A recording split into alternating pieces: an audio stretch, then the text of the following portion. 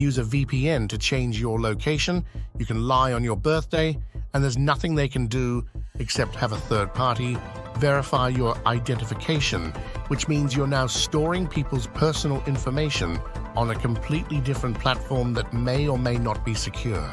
We are merely generating additional complications, Hamer said, instead of social media businesses shouldering the responsibility of banning underage accounts, they may operate similarly to sports betting applications. They might prohibit everyone in Florida from using social media platforms. Rather than attempting to determine who is over 13, who is over 16, and who does not have parental permission, Hamer stated that if the bill is passed, it may be enforced based on the honor system.